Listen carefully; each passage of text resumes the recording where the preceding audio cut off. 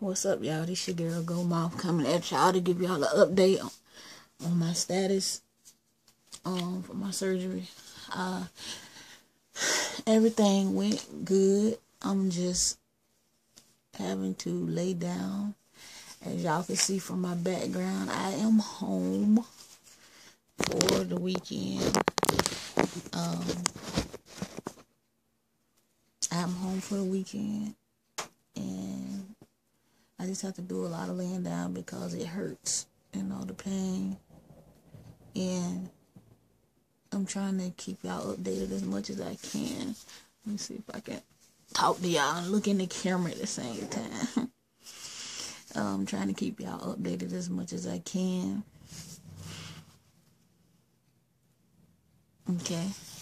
Let me see if I can try to explain this procedure, the surgical procedure that I've been going through. Um, the first two days went fine. First day was Wednesday, and then the second day was Friday. Um, hurt really, really, really bad. Um, haven't been able to sit down for a very long period of time. Um, the ride home this weekend really hurt because I had to sit down and very very uncomfortable. And uh the procedure goes like this. The first day they knocked me out. They with anesthesia. And they put some metal piece inside of me called a sleeve. They sewed it in. I didn't feel none, none of that. Um i didn't feel none of that when it started. But um when the medicine wore off and I woke up, I felt everything, everything. Even even after they injected me with uh pain medicine, like oh excuse me, like morphine, I believe they still didn't like make me not feel pain because I still felt the pain. They had to reach with their hand down there to put in a little sleeve thing that they left in there. And the the sleeve, okay, let me see if I can explain it good to it good enough for y'all. The sleeve is something like this big around. And it has a hole in the middle. It has a hole in the middle. Can y'all see that? it has a hole in the middle kind of like a straw, got a hole in it. So they put the they that actually gets stitched on onto the tumor. It's gonna be directly on the tumor. Say my tumor is right here. This is a straw. My finger is a straw. They put the straw directly on top of the tumor, touching it like that. Okay, and it's three other metal pieces that come after that, which they put in and they take out each time. And the three metal pieces look like little, like circles. They look like a circle, and each circle is bigger than the next circle. I know because I be paying attention and I be looking down at myself when they be doing whatever to me. Um, and this is all done vaginally. I'm not cut open or nothing like that. So this is all done vaginally, and these um inserts are pushed inside of me with tools and different kind of metal pieces that push up against me and open me up and shove it down in there, literally shoving it down in there. Each ball got a hole in it, a tiny hole in it, directly in the middle. Okay, each ball got to be lined up with the next ball, with the next ball, with the next ball.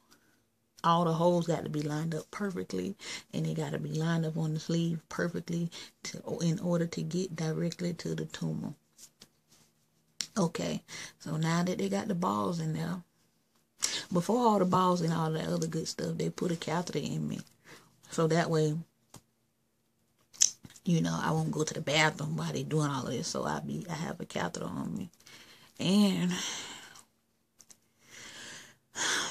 and so okay, now just say it, take a while for them to get the, the metal pieces in there straight. I call them balls because they shaped like balls, but they made out of metal or some kind of excuse me, stainless steel or something. I don't know.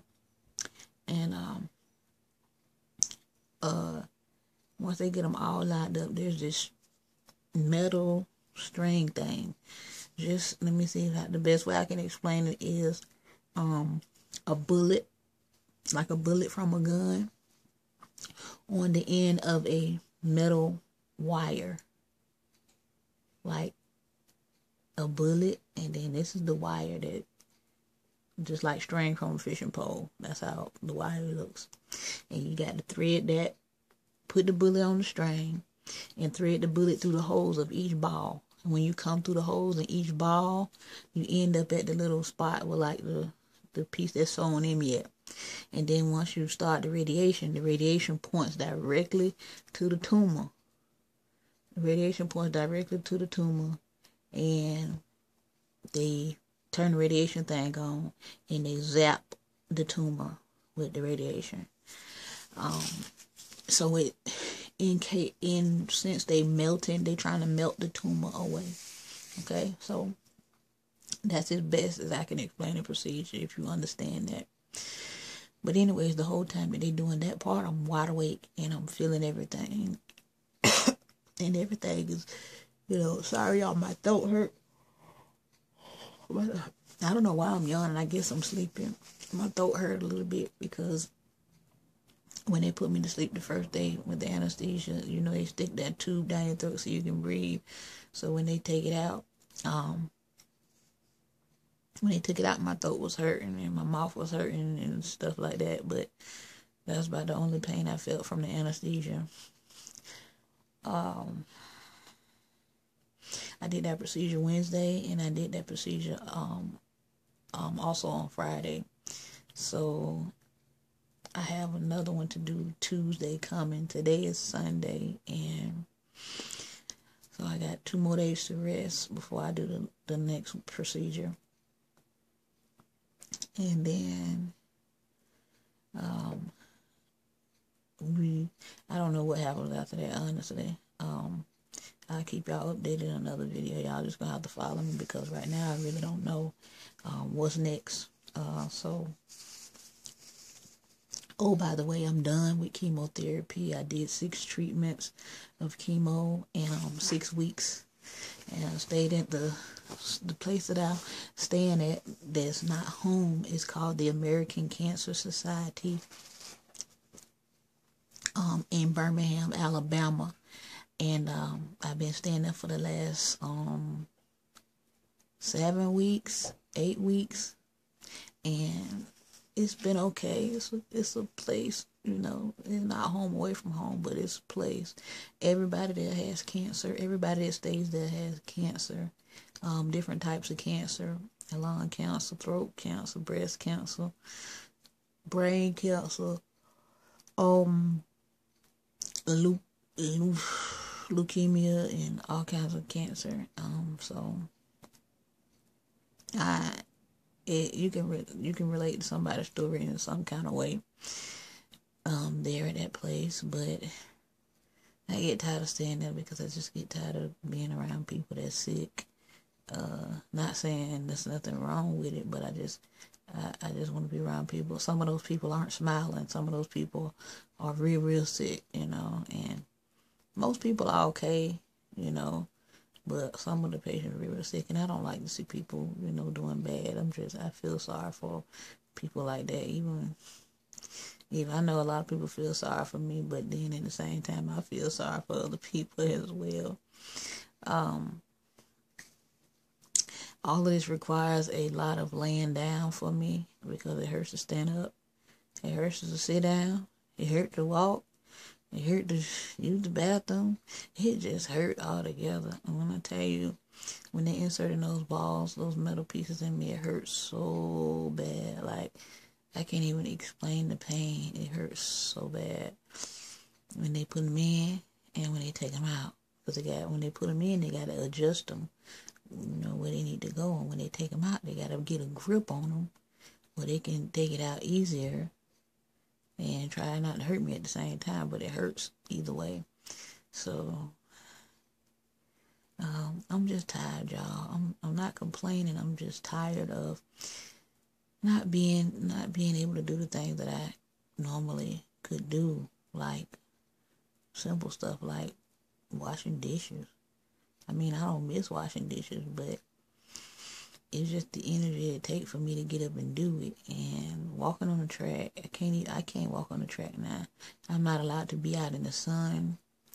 I'm not allowed to take baths and perfume um, um, body wash. I can only use Dial or Ivory soap, and I can't put nothing on my skin. I can't wear lotions. I can't wear body sprays or perfumes and stuff like that. I just gotta use Ivory soap and if I want to use lotion, I gotta use this lotion called Utterly Smooth. Um, got that from um, Walgreens. Yeah. Oh, y'all, good news. My grandbaby is coming. I'm gonna see my grandbaby for the first time um, in one week from today. Um, and I'm so happy that I finally get to meet her. You uh, know, she has played a big role in my healing and in my getting through everything because, you know, times I feel like I'm just so tired. I just drove through my phone and look at pictures of her little fat cheeks and she's smiling and just growing up in front of my eyes through pictures and talking to her on FaceTime and stuff like that. keeps me going. And I miss her little self so much. I can't wait to see her. Um,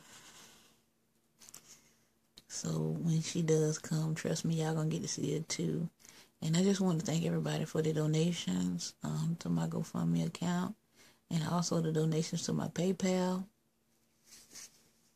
I am um, I see all your donations. Some of y'all making donations that I didn't even think I was worthy of. Like y'all coming through a hundred dollars and, and stuff like that. And I'm like, wow, people actually love me that much to just, you know, you know, help me out that much. And it's amazing. You never know how much somebody cares about you until they actually do something for you and you put your story out there. But um, I just want to thank everybody who donated the people that follow me that donated, the people that follow me that share my story, and other people donated, and the YouTubers, you know, the YouTubers especially because it's hard in YouTube land because there's always some kind of competition. Seems like, seems like, I'm saying it seems like, because I see a lot of YouTube beef videos and stuff like that people beefing and, and, and seem like it's a lot of hatred, but it's a lot of love on YouTube um, as well. I mean, I'm talking about from the actual YouTubers. I got Thick Chick Vlogs, you know, um, made a donation and, you know, it, it, it just touches your heart when somebody like that that that's one that I consider my friend right there, Thick Chick Vlogs, and also Sweet Sparkle. Uh, she's made two donations so far, and they both, Thick Chick Vlogs and Sweet Sparkle, both made videos, you know, to reach out to me uh, and to other people so that they may donate as well. Um, Lady Nika, she mentioned me in one of her videos. Um, if y'all know of anybody who might have mentioned me in their videos, y'all let me know because some people mentioned me in their videos and they didn't say anything to me like, hey, I mentioned you because Lady Nika never said anything. She just did it and somebody donated and they said Lady Nika sent me. You know, that's how I found out, which was sweet. Um, and also Justin J one two three two, I think those his numbers. Justin J twelve thirty two. Um, he donated. He's a YouTuber as well. Um, Taste Pink. Oh, by the way, Justin J was my boyfriend in my head. My boyfriend, my YouTube boyfriend. yeah, I know he gay, but it's it's just a joke. But he's still my YouTube boyfriend. Anyway, Taste Pink. Um, what's her other name? I forgot her other name. She she had changed it, but she donated. Um, yesterday or today.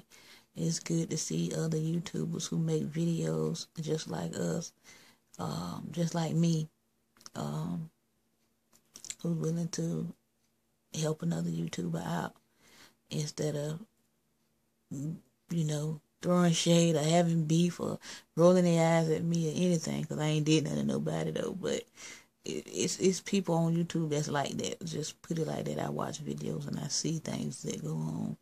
Um, but some YouTubers really have hearts, and I thank you guys for donating. Justin J, Taste Pink, um, DJ Ball, Sweet Sparkle. Um, if I miss any of y'all, y'all let me know if y'all are actually YouTuber and y'all donated. And all the ones who not YouTubers and they donated. Thank you so much from the bottom of my heart. But anyway, I'm gonna leave a link to my GoFundMe account below and also my PayPal where you can donate directly at my pay- goldmouth48 at yahoo.com through my PayPal. But anyways, y'all, I um I'm doing okay. And everything is okay right now.